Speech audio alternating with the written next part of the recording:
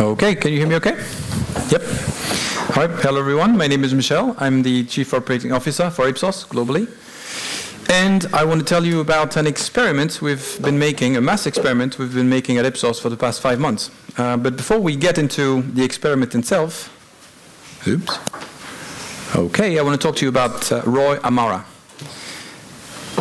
US scientist who came up with the Amara law, which I find extremely relevant to generative AI. So it predates generative AI and it's very relevant for it we tend to overestimate the impact of a technology in the short term and underestimate its impact on the long run. Very true, I think, for generative AI. You know, we talk about Gen AI all the time, AI, AI, AI. AI. You know, you may have heard Sundar Pichai's from Google uh, or Alphabet talk about uh, AI like 93 times in his speech uh, when he addressed the Google crowds. It's in the news everywhere. It's going to change the world. Has it? Since November 22? Not yet. So there's a lot of hype. That said, we're living a historic moment, as the numbers show. Um, there's few times in our lives where we'll see such a momentous technology change happening. So Amara, Roy Amara, is right. Now, um, I'm here to tell you again about the experiment and share with you what we've learned in the making. Five months ago, we decided to launch uh, our own generative AI platform at Ipsos called Ipsos Facto. Three goals to it.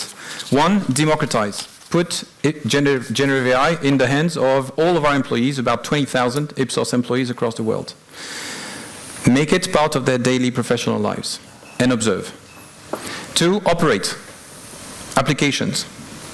Language models are very relevant to the insights industry. We are a language industry. That's what we do.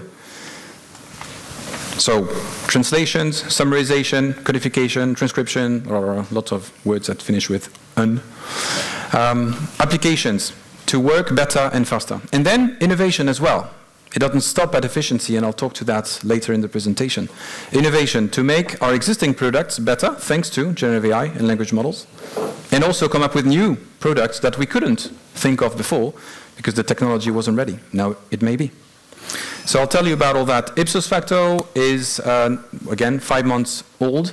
Um, we have 44% of the Ipsos population that has already used it. It's about 8,500 8, people, roughly, today. Um, so it's pretty good in terms of adoption.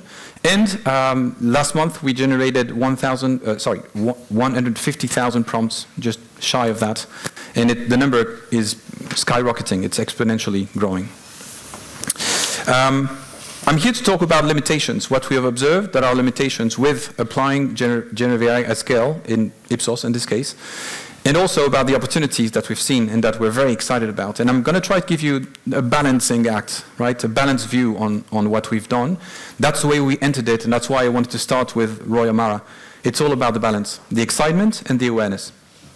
So Ipsos Facto is safe and it's agnostic. Those are the two main characteristics today. Safe uh, in that what we put in, in it doesn't go public. Um, agnostic because we started with four models and now we have eight and we're going to 13 uh, end of this week. Um, which means, by the way, in terms of UX, we had to change things because explaining to people what 13 different models do, whoa. It's also about democratization. It's meant for everyone at Ipsos, not just the researchers or the project managers or the people that operate the studies, but also the software developers. There are applications for all populations today.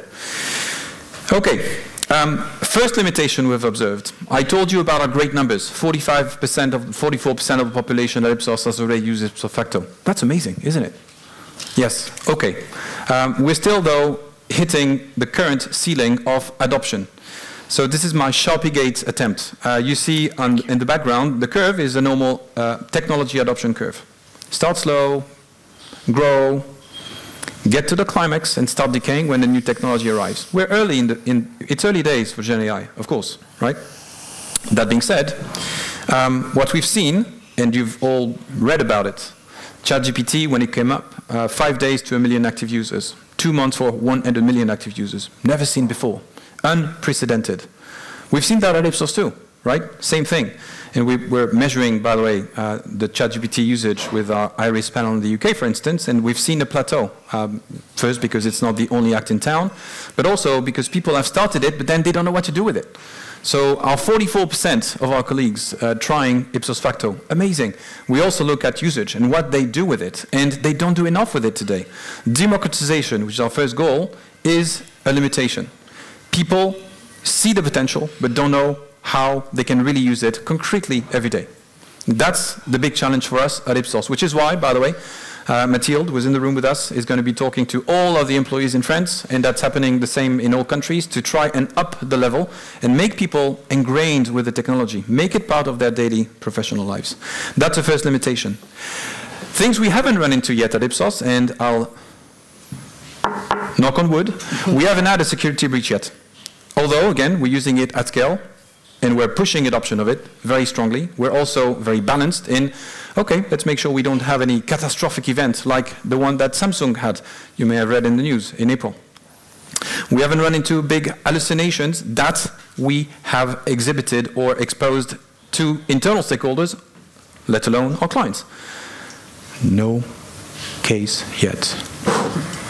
It will come, but we haven't had one yet. So no blatant case like that lawyer in the US, which you've probably read about, that uh, essentially pleaded in front of a judge uh, with a body of law that was entirely fabricated and points of jurisprudence that were totally wrong, invented by ChatGPT. Uh, and the judge found out. Oops. The lawyer was a senior lawyer, by the way. I'll talk to uh, novice versus senior. And uh, he had asked ChatGPT, are you sure? And ChatGPT said yes. Bias the reign of the white male, says the white male. A bias is a huge issue. ESG is a very important topic for all companies, Ipsos included. We're big on DE&I. Um, we haven't had a case yet, and we're extremely worried about this. Going to the average often means huge problems with bias. We talked about it before. We haven't had that yet. So how have we not had those? Because we've applied our evaluation framework around three key concepts, truth, beauty, and justice. We've had that evaluation framework before generative AI, by the way, and it's, again, very relevant in this new age. What is it about? Very nice words. We like words. What you've produced with generative AI, are you sure it's accurate? Most of the time, it isn't, at least not on the first go. Ask generative AI what are the top 10 brands in this market and give me the number of sales units or market share. The answer is likely to be wrong the first time. Don't take it for granted. Can you explain the data? And if you can't, try again. Cross-reference. Are you sure that you can explain the black box and the magic in it is dark magic? Third, ethics, algorithmic fairness, and the law. Are you on the right side of ethics and the law when you produce outputs? It's not a given and the human in the loop. Human intelligence and artificial intelligence are meant to work together. That means the human has to be in the loop. Generative AI is like an exoskeleton. It makes you run faster, jump higher, carry more weight. Yet, the human is in the middle. Without the human in the middle, it doesn't work, or it becomes very scary. So, of course, you need a safe and agnostic platform. Otherwise, you're in risks you absolutely should have an evaluation framework of your own. Do not take it for granted. Um, then we get into the art of the question. We are insight professionals. It's our job to ask the right questions, including the non-obvious ones, of, of course. The art of the question, we're very well geared for that. You need to be able to augment the data that is publicly available with trained data. And that's one of the big next steps of Ipsos Facto, of course, to go into fine-tuning, and I'll talk about it in a moment. But for all of that, you need verification and you need activation. You need a human at the start, in the middle, and at the end of the process.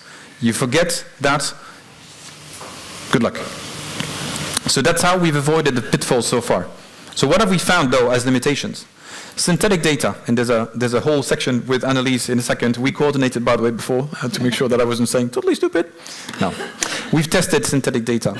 Um, a client came to me recently and asked me, Michel, luxury client in the automobile sector. I struggle with finding people that buy my products or want to buy my products. If I give you 60 people, can you do a, a thousand sample with those 60 using modern techniques and synthetic data? Because I've been approached by startups that promise that sort of thing. And the answer is snake oil. No, you can't. Of course you can't. What are you thinking? Uh, we've been applying weights to data in research forever, right? There are rules to what you can do with weights. Think about it like that. This is making it faster, better, and more powerful. It's the same thing, though. There's no magic. You cannot invent people, or you will invent people that don't exist. And you don't sell to people that don't exist. You sell to real people.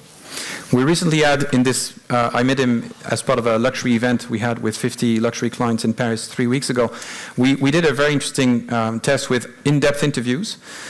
In one of them, uh, we were using Ipsos Facto to recommend products to people, and, and we were filming their reaction to it. And uh, the Ipsos Facto recommendations were very precise and spot on, except in one case, where we recommended special make of car, and the gentleman that we were filming said, no way. Ooh, interesting. Why? Well, because I had that model, previous generation, and I almost sued the company. It was terrible. I don't want to hear about the brand anymore. We missed it. Why? Because it's not magic. It's all about understanding humans.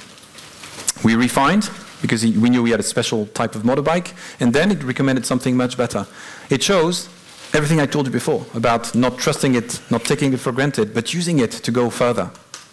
So synthetic data is a whole, you know, very interesting concept. It's very good at certain things. You know, profile definitions, people that watch the BBC on mobile in the UK, can you use synthetic data for that? Absolutely. Multivariate analysis or variance models? Absolutely not. We know of a competitor of ours that got kicked out of one of our largest accounts for using um, lookalike modeling that was totally wrong, very dangerous. Text analytics evaluation. I'm all for using AI for efficiency. Can we automate or quasi-automate parts of what we do? Well, we've tried. And the short answer is not yet. In English, we're close. But we've tested with non-English and non-Indo-European, and not close. Using the good old text analytics evaluation frameworks, we're not there, not yet. We can get closer, but you need a lot of human intervention in it because when you go to Thai or Chinese or Mexican or Danish, we took those four plus English, we're far still. So progress needs to be made. Other limitations, fine tuning. So I want to put Ipsos Facto in the hands of all of Ipsos's clients. We're working on it. I want to go beyond safe and agnostic by going training. We have a ton of data at Ipsos, right? We can make models a lot better, a lot smarter, for more relevant, more accurate, richer outputs. That's the vision. And we're limited today. Why? Because fine-tuning sounds like magic, but it isn't. I'll start with the right-hand side. Limited volumes. OpenAI, Google, today limit what you can do in fine-tuning. You cannot throw a lot of data at it because they're limiting you in terms of tokens and volumes you can ingest. Why? I'll come to that in a second on the left-hand part of the slide. Also, the notion and the idea that it's magic, just find the data and dump it into the special place that will make it all smart, it's really not true. Uh, there's a ton of upfront work and a lot of metadata to be created because the data wasn't created for ingestion in the first place. So thinking, it's a little bit like big data back in the days, right? Which wasn't, well, which is a thing, sort of, but not really. This is a thing. But it needs a lot of work up front. So there's no magic. There's just a lot of work. You need people that know and understand data before you can ingest it. Let's go to the left-hand side, which is even more interesting. High dimensional issues. Does that speak to you? Probably not. Talk to your data scientist catastrophic forgetting, model decay, diversity collapse. Ooh. that doesn't sound too good. when you try to throw a lot of data or create real big extensions of models to work in conjunction with the publicly available models that you have to use in a safe space, you get that. We don't know why. We being not Ipsos, right? We don't know why, clearly. Google OpenAI, Anthropic, they don't know why yet. It's a fascinating space. It's not new, by the way, but it's been exacerbated by generative AI. We don't yet understand why the models that you try to build upon and make smarter actually suffer from the intervention that you're doing. Which is why, for all these reasons, fine-tuning today is slow. Much slower than I wish or I thought it would be six months ago. I'll show you examples of what we're doing on fine-tuning, by the way. Not nothing, but nowhere near at scale as I hoped we would. All right, my kiddie slide. That's why I get a lot of hearts internally when I do that. The lazy researcher. We've created personas in how we've implemented and experimented. Ah, the lazy researcher. A colleague of mine told me, Michel, that should be great, right? Because if you're lazy, you want to use generative AI. It makes your life so much easier. no, of course not. Um, if you just give a superpower, a, a, an amazing tool to somebody who's lazy, what are you going to get? You're going to get average soup in French. You're going to get something that is very random, something that may be inaccurate too. So putting a superpower in the hands of someone that's lazy is very dangerous. I'll tell you about an example we did that shows the contrary, by the way, but this is a real limitation. All right. Efficiency is a huge reward. We, are applying it in terms of application to a lot of things we're doing, and we get a lot from it today. Again, not enough people using it. And the challenge is making it more democratized within the company. But we're already seeing very interesting results that are well documented, by the way, by other companies and other sectors too. For admin, admin tasks, desk research, translation, data processing, and everything related to it, questionnaire, interview, guides, and queries, it's working. It's working and it's ready. So now let's just use it and be smart about it, applying the framework. For discovering and, and creating, creation of text, image, and video, I'll talk about that uh, in a moment too, reports and meta-learnings, and discovery of insights, and you know, the shortening of the time, I'll have an example for you also in a second. I, know I have three minutes to go. So we're very excited. So after talking about the limitations, let me talk about the opportunities. This is a page I stole from something that happened yesterday and the day before in our uh, UU, it's our qualitative service line. So our qualitativists, that's an English term, people that work in qual. Um, they were very worried when we started this journey because they thought, ooh, is this going to totally replace what I do? You know, do you need qualitative people? Will won't you be able to just take what's around and make sense of it with using technology?